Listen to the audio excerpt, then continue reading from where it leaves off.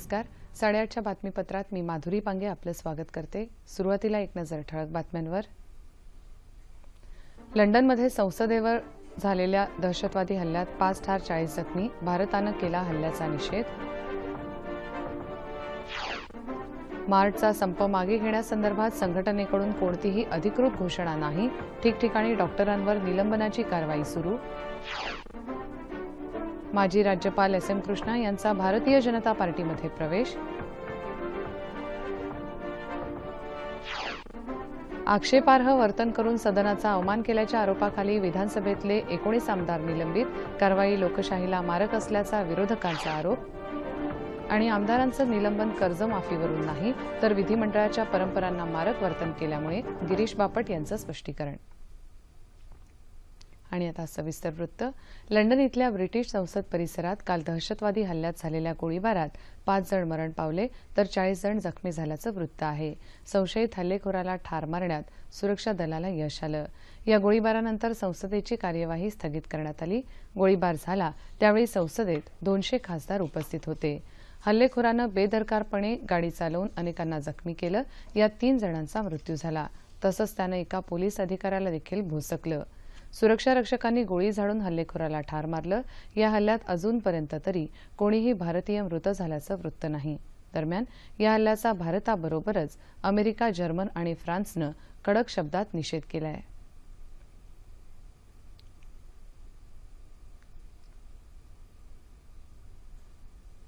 राज्यातल्या निवासी डॉक्टरांनी गेले चार दिवस सुरू ठेवलेलं आंदोलन आजही कायम आहे. संप मागे घेण्याबाबत मार्ड या निवासी डॉक्टरांच्या संघटनेकडून कोणतीही अधिकृत घोषणा झालेली नाही. निवासी डॉक्टरांना काल रात्री आठ वाजेपर्यंत कामावर रुजू होण्याचा इशारा वैद्यकीय शिक्षण मंत्री गिरीश महाजन यांनी दिला होता. तसंच कामावर रुजू न झाल्यास सहा महिन्यांचं वेतन कापलं जाईल असंही त्यांनी सांगितलं होतं. डॉक्टरांच्या सुरक्षेसाठी सरकार वचनबद्ध आहे अशी ग्वाही त्यांनी दिली. डॉक्टरांच्या सुरक्षेसाठी अकराशे सुरक्षा रक्षक देण्याचं कबूल केलं असून येत्या पाच दिवसात पाचशे सुरक्षा रक्षक संबंधित ठिकाणी रुजू होतील अशी माहिती महाजन यांनी बातमीदारांशी बोलताना दिली. मात्र तरीही अजूनपर्यंत मार्डनं याबाबत कोणतंही निवेदन जारी केलेलं नाही. जे जे रुग्णालयाचे अधिष्ठाता तात्याराव लहाने आणि वैद्यकीय शिक्षण विभागाच्या अधिकाऱ्यांची काल बैठक झाली. दरम्यान मार्चच्या निवासी डॉक्टरांनी आंदोलन त्वरित मागे घेण्याचे आदेश मुंबई उच्च न्यायालयानं सोमवारी दिले होते. संपावर गेलेल्या डॉक्टरांवर राज्यभरात ठिकठिकाणी निलंबनाच्या कारवाईला सुरुवात झाली आहे. पुण्यातल्या ससून रुग्णालयात नागपूरमधल्या शासकीय वैद्यकीय महाविद्यालयात तसंच औरंगाबादमध्ये निवासी डॉक्टरांना तातडीनं कामावर रुजू होण्यासंदर्भात नोटीस बजावण्यात आली आहे. आणि काही डॉक्टरांचं निलंबनही करण्यात आलं आहे. मार्चच्या संपाला इंडियन मेडिकल असोसिएशन अर्थात आय एम एनं पाठिंबा दर्शवलाय. सचिव डॉक्टर पार्थिव संघवी यांनी काल मुंबईत एका पत्रकार परिषदेत ही माहिती दिली. मार्च संपाला पाठिंबा देण्यासाठी खासगी रुग्णालयांमधले बाह्य रुग्ण विभागही बंद ठेवले जातील मात्र आपत्कालीन शस्त्रक्रिया केल्या जातील असंही संघवी यांनी स्पष्ट केलं. महाराष्ट्रातल्या डॉक्टरांना पाठिंबा असल्याचं एम्सच्या निवासी डॉक्टर संघटनेचे सरचिटणीस डॉक्टर हरजित सिंग यांनी म्हटलं आहे. काँग्रेस नेते आणि महाराष्ट्राचे माजी राज्यपाल एस एम कृष्णा यांनी काल भाजपामध्ये प्रवेश केला. नवी दिल्लीत त्यांनी भाजपा अध्यक्ष अमित शहा आणि इतर नेत्यांच्या उपस्थितीत ही घोषणा केली. पंतप्रधान नरेंद्र मोदी यांनी केलेल्या विविध विकास कामांचं त्यांनी यावेळी कौतुक केलं.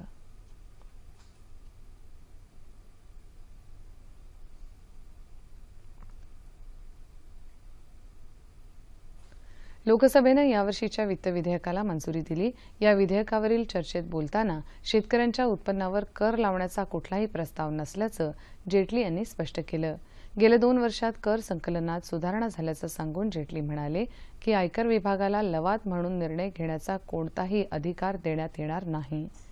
येत्या एक जुलैपासून वस्तू आणि सेवा कर लागू करण्याचे सर्वतोपरी प्रयत्न केले जात असून पुनर्मुद्रीकरणाची प्रक्रिया जवळपास पूर्ण झाल्याची त्यांनी सांगितलं. कर चुकवेगिरी टाळण्यासाठी आयकर परतावा भरताना आधार क्रमांक अनिवार्य करण्यात आल्याचंही जेटली म्हणाले.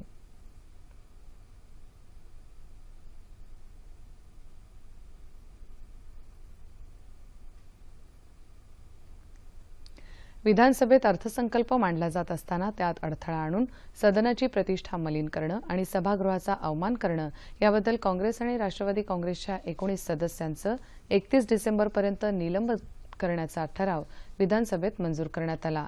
तर या ठरावाचा निषेध करत सदस्यांच्या निलंबनाचा निर्णय रद्द करेपर्यंत कामकाजावर बहिष्कार घालत असल्याचं सांगत विरोधकांनी सभात्याग केला. अध्यक्षांनी वारंवार सूचना देऊनही त्याकडे दुर्लक्ष करणं सभागृहात बॅनर फडकावणं टाळ वाजवणं अर्थसंकल्पाच्या पुस्तकाची होळी करणं सभागृहाचा अवमान करणं या कारणांसाठी या आमदारांना निलंबित करण्यात आलं. सरकारचं हे कृत्य लोकशाहीला काळीमा फासणारा आहे असा आरोप विरोधी पक्षनेते राधाकृष्ण विखे पाटील यांनी केला. अर्थसंकल्पावरच्या चर्चेसाठी सभागृहात विरोधकच नसल्यानं त्यांच्या सहभागाची अपेक्षा धरत दिवसभरासाठी विधानसभेचं कामकाज स्थगित करण्यात आलं. सकाळच्या विशेष सत्रात काही लक्षवेधी सूचनांवर चर्चा झाली. विधानसभेत एकोणीस आमदारांना निलंबित केल्याप्रकरणी विधान परिषदेत विरोधकांनी निषेध नोंदवला. कर्जमाफीची मागणी केली म्हणूनच आमदारांना निलंबित केल्याचा आरोप विरोधकांनी केला. निलंबनाचा निषेध म्हणून विधान परिषदेत काल विरोधी वाकावरचे सदस्य हाताला काळ्या फिती बांधून आले होते. कर्जमाफीच्या मुद्द्यावरून विरोधकांचा आक्रमक पवित्रा कायम राहिल्यामुळे संपूर्ण कामकाज गोंधळातच वाहून गेलं. या गोंधळातच विधानकार्य मंत्री गिरीश बापट यांनी सरकारची भूमिका मांडायचा प्रयत्न केला. सरकार कर्जमाफी संदर्भात चर्चेला तयार आहे. कामकाज सुरू करावं असं आवाहन त्यांनी केलं. मात्र विरोधकांचा गदारोळ कायम राहिल्यानं कामकाज नऊ मिनिटातच दिवसभरासाठी स्थगित करण्यात आलं.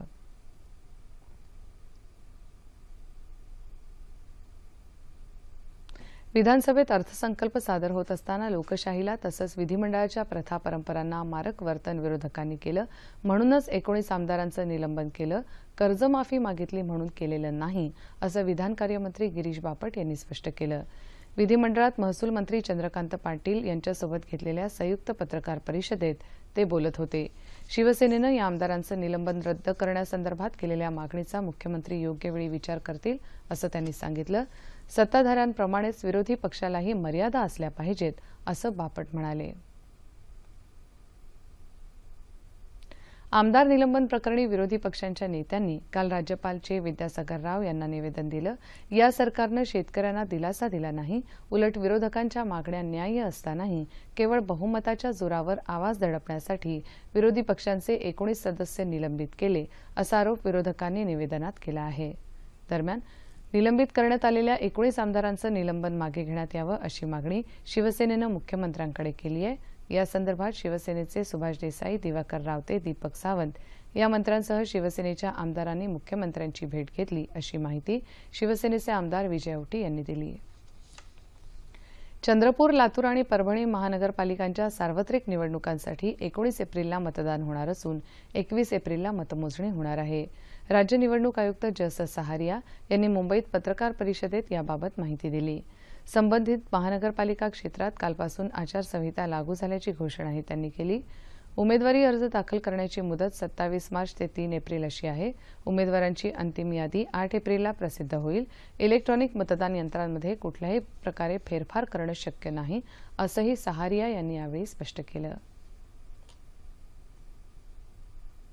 बॉम्बे इलेक्ट्रिक वर्कर्स युनियनतर्फे काल मुंबईत वडाळा आगारासमोर सरचिटणीस विठ्ठल गायकवाड यांच्या नेतृत्वाखाली ठिय्या आंदोलन करण्यात आलं. बेस्टच्या कामगारांना फेब्रुवारी दोन हजार सतराचं वेतन त्वरित द्यावं महिन्याच्या एक ते सात तारखेदरम्यान वेतन मिळावं नवीन वेतन करार लवकर करावा दोनशे चाळीस दिवस काम करणाऱ्या आठशे पंचवीस कंत्राटी कामगारांना नोकरीत कायम करावं तोट्यात चालणारे मार्ग बंद करावेत. जोपर्यंत नवीन वेतन करार होत नाही तोपर्यंत सात हजार रुपये आगाऊ रक्कम वेतनासह द्यावी अशा मागण्या आंदोलकांनी केल्या.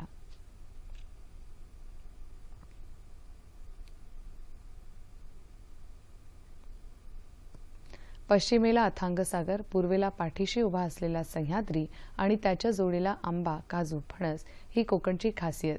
कोकणची आणखी एक ओळख म्हणजे इथल्या मातीत जोपासली गेलेली दशावतार ही लोककला.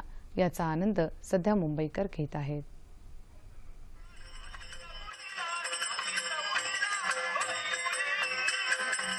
पौराणिक कथांवर आधारित कोकणातली पारंपरिक कला म्हणून ओळखल्या जाणाऱ्या दशावतारी नाट्यकलेचा महोत्सव मुंबईत भांडूप इथल्या कोकण नगर इथं आयोजित करण्यात आलाय.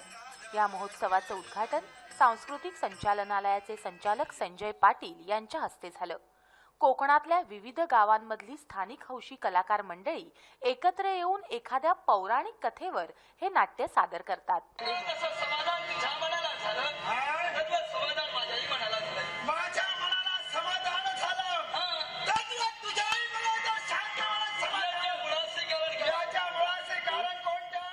आपापले नोकरी व्यवसाय सांभाळून हे कलाकार स्वतःची रंगभूषा वेशभूषा स्वतःच करून आपल्या भूमिका सादर करतात. त्यात स्त्री पात्राची भूमिकाही बहुतांश वेळा पुरुष मंडळीत सादर करतात. कोकणात सुमारे पावणे तीनशे वर्षापासून दशावतारी नाट्यप्रवेश सादर केले जातात.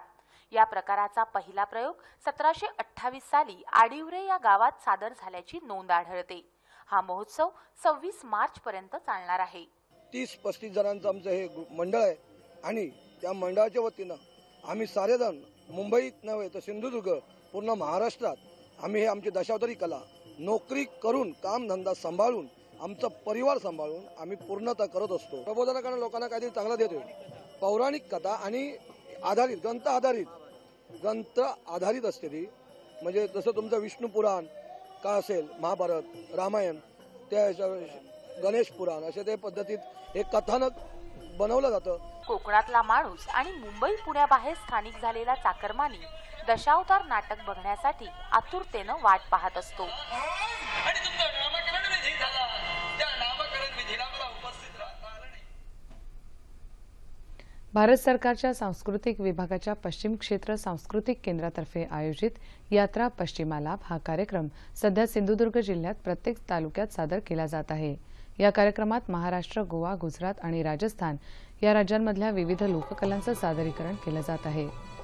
हातात झांजा घेऊन भक्तिरसात तल्लीन होणारा तेरा ताल डोक्यावर सात घागरी घेऊन काचेच्या तुकड्यांवर सादर होणारं भवाई नृत्य आग असलेली घागर डोक्यावर ठेवून केलं जाणारं चरी नृत्य तसंच लयबद्ध आणि कसरती करत केलेलं कालबेलिया नृत्य हे राजस्थानी कलाप्रकार या यात्रेत सादर केले जात आहेत. गुजरातमधलं केरवानो डांगी नृत्यही रसिकांची वाहवा मिळवत आहे. तर महाराष्ट्रातला पोवडा आणि गोंधळ तसंच लावणीही प्रेक्षकांना मंत्रमुग्ध करत आहेत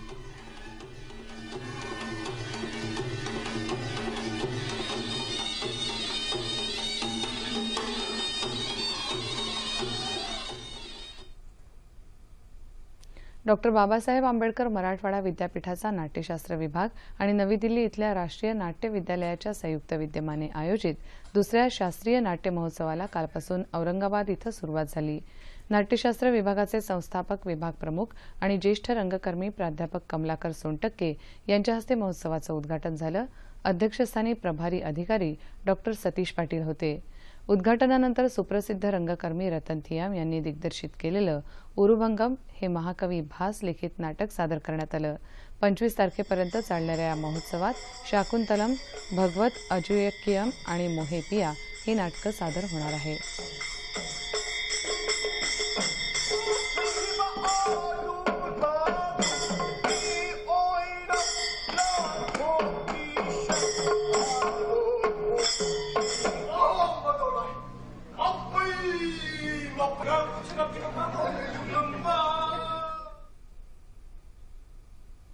स्वातंत्र्य लढ्यात महत्वाची भूमिका बजावणाऱ्या क्रांतिकारक भगतसिंग राजगुरू आणि सुखदेव यांच्या शहाऐंशीव्या स्मृती दिनानिमित्त आज त्यांना आदरांजली वाहण्यात येत आहे.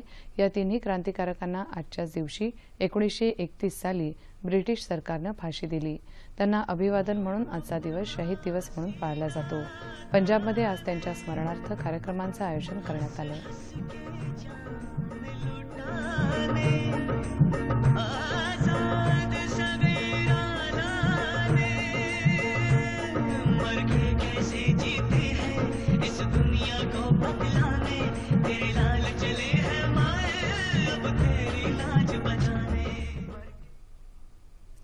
ठळक बातम्या पुन्हा एकदा.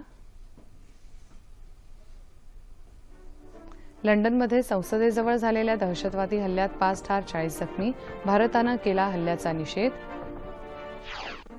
मार्चचा संप मागे घेण्यासंदर्भात संघटनेकडून कोणतीही अधिकृत घोषणा नाही. ठिकठिकाणी डॉक्टरांवर निलंबनाची कारवाई सुरू. माजी राज्यपाल एस एम कृष्णा यांचा भारतीय जनता पार्टीत प्रवेश. आक्षेपार्ह वर्तन करून सदनाचा अवमान केल्याच्या आरोपाखाली विधानसभेतले एकोणीस आमदार निलंबित. कारवाई लोकशाहीला मारक असल्याचा विरोधकांचा आरोप. आणि आमदारांचं निलंबन कर्जमाफीवरून नाही तर विधिमंडळाच्या परंपरांना मारक वर्तन केल्यामुळे गिरीश बापट यांचं स्पष्टीकरण. याबरोबरच हे बातमीपत्र संपलं. पुन्हा भेटूया साडे अकरा वाजता आपल्या सह्याद्री वाहिनीवर. नमस्कार.